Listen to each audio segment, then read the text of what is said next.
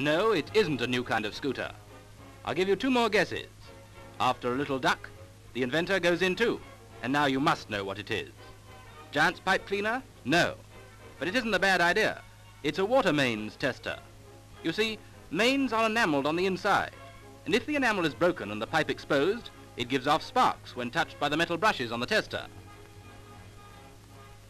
How would you like to put that in your pipe and spark it? But to return to our muttons, or rather mittens. Some people think that gloved hands improve the technique. Well, you must decide.